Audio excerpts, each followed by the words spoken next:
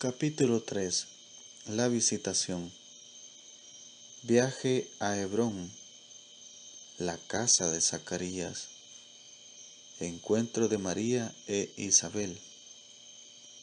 Santificación de Juan. Exclamación de Isabel El Magnífica. En los días que siguieron a la encarnación del Verbo, María continuaba abismada en el pensamiento de que Dios se había dignado poner sus ojos en la pobre huérfana de Nazaret para hacerla madre de su hijo. Y aquello no era un sueño. Las palabras del ángel resonaban todavía en sus oídos y, por otra parte, el nuevo ardor que abrazaba su corazón revelaba ciertamente la presencia del Dios de amor. Mientras más ahondaba su espíritu en estos pensamientos, más se derramaba su alma en efusiones de reconocimiento para con aquel que la había elevado, a pesar de su indignidad, a tan encumbrado honor. Una sola cosa le faltaba, un confidente que pudiera ser depositario de su secreto y asociarse a su dicha. Pero este secreto debía sepultarlo en lo más hondo de su alma hasta que a Dios pluguiera descubrirlo. Solo el autor del gran misterio podía comunicar a los espíritus luz bastante para penetrarlo. El Señor inspiró a María el pensamiento de ir a visitar a su prima Isabel, cuyas inesperadas alegrías el ángel le había hecho conocer. No era justo en aquella circunstancia prodigarle piadosos cuidados, compartir con ella sus gozos, sus gozos y ayudarla a dar gracias al Señor? Era necesario emprender un viaje de 30 leguas a través de las montañas y desiertos de Judá. Pero la caridad no conoce dificultades ni fatigas, y el Dios que moraba en ella la impelía irresistiblemente a ponerse en cariño. Numerosas caravanas se dirigían entonces a Jerusalén con ocasión de las fiestas de Pascua. María se agregó a los peregrinos, atravesó a toda prisa las colinas de Efraín, saludó de paso la ciudad santa y, salvando escarpadas montañas, llegó después de cinco días de camino a la antigua ciudad del Hebrón. Todo era calma y silencio en la casa del anciano sacerdote. Desde su visión en el templo, meditaba mudo y solitario en los grandes destinos del niño que Isabel llevaba en su seno. Esta está entregada del todo a su alegría solo se ocupaba en alabar al Dios que se había compadecido de su oprobio y amarguras.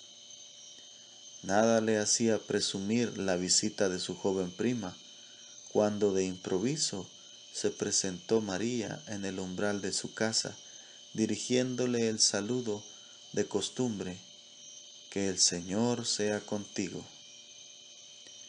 Al oír esta mística salutación, Isabel, profundamente emocionada, sintió que su hijo saltaba en su seno a impulsos de una viva alegría.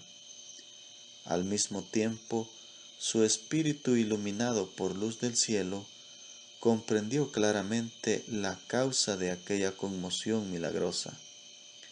El niño acababa de ser santificado en el seno de su madre, como el ángel lo había predicho a Zacarías. purificado de la mancha original, colmado de gracias, dotado del uso de la razón, Juan saludaba desde su prisión a su Salvador invisible y cumpliendo ya su misión de precursor, lo daba a conocer a su madre. Inspirada por el Espíritu Santo, Isabel, no viendo ya en su prima a una mujer ordinaria, sino a una criatura más excelsa que los ángeles del cielo, exclamó llena de inmenso regocijo, Bendita eres entre todas las mujeres, y bendito es el fruto de tu vientre. Gritó de entusiasmo y de amor, que todos los corazones fieles repetirán hasta el fin de los siglos en honor de la Virgen Madre. Y luego agregó, ¿de dónde a mí esta felicidad de que la Madre de mi Dios se digne visitarme? Oh María, al solo eco de tu voz, el niño que llevo en mi seno ha saltado de alegría. Bienaventurada eres porque has creído en la palabra de Dios pues se cumplirá todo lo que se te ha anunciado. Entre tanto, estupefacta en en presencia de tales maravillas, la Virgen de Nazaret guardaba silencio, pero al oír las alabanzas proféticas de Isabel, su corazón, como un vaso que se desborda, no pudo contener sus sentimientos. Su alma elevándose hasta Dios, único digno de alabanza, y transportada al cielo, respondió a las felicitaciones de su prima con este himno sublime en honor del Eterno. Mi alma glorifica al Señor, y mi espíritu rebosa de alegría en Dios mi Salvador, porque se ha dignado poner en sus ojos en la humildad de su sierva, por eso desde ahora me llamarán bienaventurada todas las generaciones. Él ha hecho en mí grandes cosas y su nombre es santo por todos los siglos. Él es quien de generación en generación derrama su misericordia sobre los que le temen, quien ostentando la fuerza de su brazo derribó a los soberbios y confundió el orgullo de sus pensamientos. Precipitó de sus tronos a los poderosos para hacer subir a ellos a los humildes y pequeños. Sació a los hambrientos y despidió en ayunas a los opulentos de este mundo. En su éxtasis, la Virgen, inspirada, veía pasar delante de sus ojos a los faraones los holofernes, los nabucodonosores, los antiocos, a todos los opresores de Israel que desaparecieron como sombras al soplo de Jehová. Contemplaba al pequeño pueblo de Dios siempre abatido, pero siempre sostenido por la mano omnipotente de su Señor. Luego, a la visión del pasado sucedió la visión del porvenir, deteniendo su vida profética sobre su, patria, sobre su patria esclavizada y sobre las naciones subyugadas por el espíritu de las tinieblas. Recordó que llevaba en su seno al Redentor de Israel y del mundo. Jehová exclamó, se ha acordado de sus misericordias, levantará a Israel su siervo, como lo ha prometido a Abraham y a su posteridad en todos los siglos. Así cantó la Virgen de Nazaret, anunciando a la tierra la venida del Redentor divino. Así debieron cantar los ángeles cuando por vez primera contemplaron la majestad del Altísimo. Así cantaron Adán y Eva bajo la sombra del paraíso, mirando las magnificencias de la tierra y de los cielos. Así, reproduciendo este inspirado himno de amor, canta en la tierra toda alma rescatada, cuando al declinar el día trae a la memoria las grandezas y misericordias de Jesús, Hijo de María. La humilde Virgen permaneció tres meses en casa de su prima, tiempo que transcurrió veloz, ocupado en dulces y santos coloquios. Pero llegó al fin la hora de la separación. Isabel y Zacarías lamentaron la partida de aquella que llevaba en su seno al Dios de su corazón. María lloraba también, porque un triste presentimiento le anunciaba que después de aquellos tres meses de cielo comenzarían para ella los días de prueba. En efecto, su vuelta a Nazaret fue para ella ocasión de, de angustias mortales. Desde la primera entrevista con su esposa, José no pudo dejar de notar en María señales inequívocas de su futura maternidad. Ignorando el misterio de la encarnación, no sabía qué pensar ni qué partido debería tomar. No obstante, las apariencias se resistían a creer a María culpable de un crimen. La más pura de las vírgenes no podía caer súbitamente desde las alturas del cielo a un abismo de fango. Pero, ¿cómo explicar su situación? María leía en el rostro de su esposo las crueles perplejidades que torturaban su alma. Sufría al verle sufrir, pero su frente conservó siempre angelical serenidad y ningún signo de inquietud alteró la calma de su fisonomía, ya que ninguna palabra humana podía calmar las legítimas ansiedades de su esposo. Esperó en silencio que Dios pusiera término a aquella prueba. Con el corazón despedazado, José tornó por fin la resolución que le pareció más conforme con la justicia.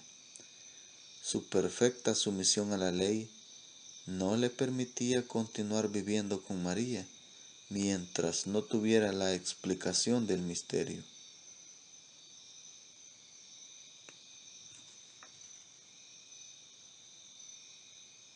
No su menos perfecta caridad le impedía igualmente denunciar ante, las ante la autoridad judicial a una mujer que a pesar de todo persistía en creer inocente. Resolvió pues abandonarla discretamente y sin ruido. Largo tiempo luchó consigo mismo antes de ejecutar este designio. Era tan duro para él abandonar a una huérfana, a una pariente a una esposa que en él miraba a su único protector. Mas al fin, sin dejar de traslucir su resolución, una noche hizo los aprestos de viaje y se entregó al sueño después de haber ofrecido a Dios su sacrificio. Mientras dormía, apareciósele un ángel del cielo y con una palabra disipó todas sus inquietudes. José, hijo de David, le dijo, no temas guardar contigo a María, tu esposa, pues el fruto que lleva en su seno es obra del Espíritu Santo. Ella dará a luz un hijo a quien pondrás por nombre Jesús porque Él salvará a su pueblo de sus pecados. Después de aquella revelación celestial, despertóse José completamente transfigurado por una súbita iluminación. El Espíritu le había hecho comprender que se realizaba en María la profecía de Isaías.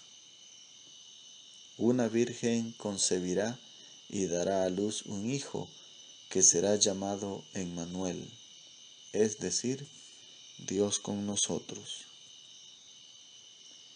Al mismo tiempo que se descubría a sus ojos el augusto secreto de la encarnación, el santo patriarca comprendió la misión providencial que Dios le confiaba con respecto al niño y a la madre. Jesús y María necesitaban un guardián y protector en la tierra. A José tocaba verla por estos dos seres a José le tocaba velar por estos dos seres queridos y seguirlos a todas partes como la sombra protectora del Padre que está en los cielos.